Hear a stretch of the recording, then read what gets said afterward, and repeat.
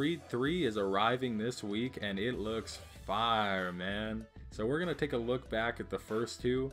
Admittedly, I'm not the most knowledgeable Rocky fan, but just recently I watched Rocky 1 and 2 for a better understanding when looking at Creed and to see what I do and don't like of the new films comparatively.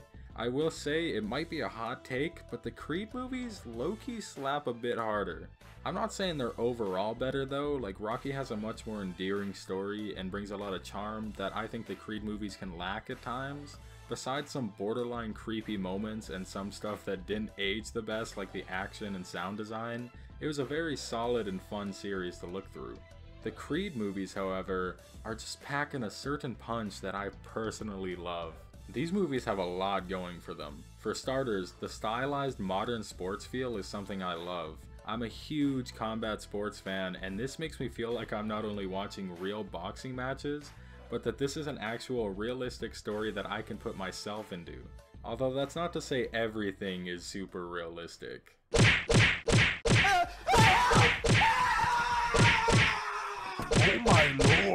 Nah, I just thought it was dope how they presented everything as if it were just a part of the real world. Like during the opening few scenes of the movie, Adonis is studying film and watching his father through YouTube, and as all the big fights nowadays, they would eventually get put on YouTube and promoted as classic bouts.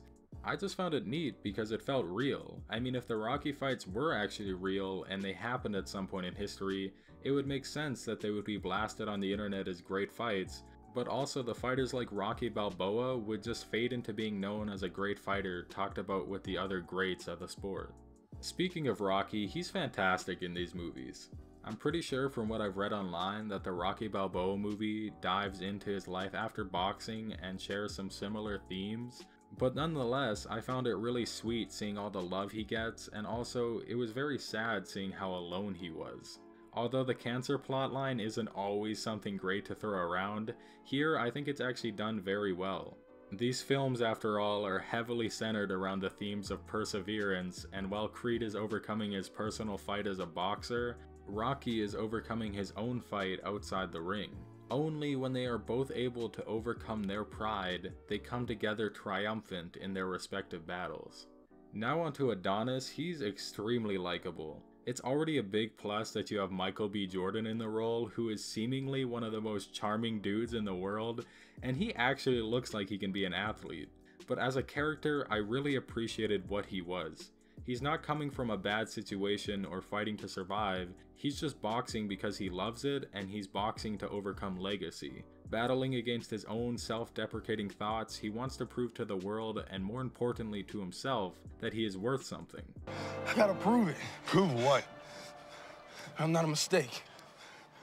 Although not everyone has a world-renowned father's legacy hanging overhead, I think there's something so relatable about having aspirations for your life and chasing those dreams even if people tell you otherwise. As someone who is constantly focused on success and my future, it gave me such a motivating feeling watching Adonis work hard and chase his dreams because he wants it that bad.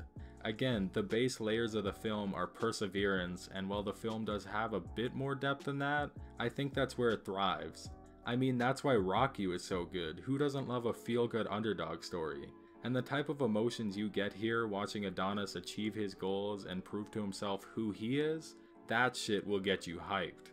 What else will get you hyped is these goddamn training montages, man. I could watch ripped ass Michael Jordan get heat stroke and take 5 years off of his life all day. Shit's got me ready to fight Canelo, man. The plot in the first one is pretty straightforward, working his way through his ego and training to become the best. The antagonist is cool, I like how they introduce the other fighters through HBO documentaries, it felt like a clever way to let us know who the characters are in a realistic way. We don't get a lot of time with Ricky Conlan, it's more the challenge of him than anything, but I thought it worked fine. The second movie though, we get a much more interesting antagonist in Victor Drago. I honestly would have loved to see so much more of him. I mean, even his own movie, sure, like, he's the most interesting character in these films by far for me. Baby Drago is such a layered and complex character if he's given the time, and to me, he comes across quite sympathetic despite being a meathead sometimes. They have this fascinating family dynamic paired with the weight of an entire nation. Having Victor basically being raised and bred to be the ultimate fighter by his father, Ivan is driven by determination to repair his family name after basically getting disowned by the people he loves and the whole nation since he lost to Rocky. He tells Victor failure is not an option, putting the stakes of not only being a fighter, but carrying the burden of the family legacy from a young age. Victor also comes to resent the people that turned on his father despite continuing to fight and gain their praise. There's a lot of similarities with Victor and Creed, so although the plot of the first for me is more cohesive and enjoyable, I really like the relationships and themes between these two. I mean, who's focused on the plot anyways, am I right? Nah, I'm just kidding. Each movie has their moments and do well sitting on some emotional scenes. But for real, the reason we're all watching in the end is for some fire ass fights and the perseverance of it all. Honestly, putting aside realism and fight IQ, these sequences are amazing, man. This is what I'm talking about when I say these Creed movies pack a little something extra for me.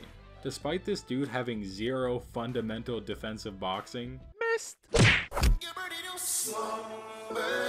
Get an ambulance! Man down! 911, what's your emergency? I swear to God, I'm ready to eat creatine by the spoonful and max out on every machine imaginable. This dude right here got me feeling some type of way.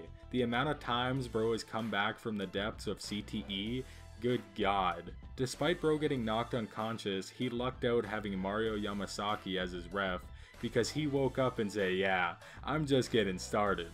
Despite moving up in weight class and fighting Muscle Man over here, built like a mountain gorilla, double the size of poor Adonis, bro managed to finish Beefcake here in the motherland. The ending to Creed 2 having Ivan throw in the towel had so much meaning and was such a fantastic character moment. A perfect way to end it, and leaving on that note had me foaming in a roid infused adrenaline high, waiting for Creed 3. Overall, I thought the Creed movies were just a really good time. They packed some great action and kept you hyped throughout, and for Creed 3, I think it's gonna be great.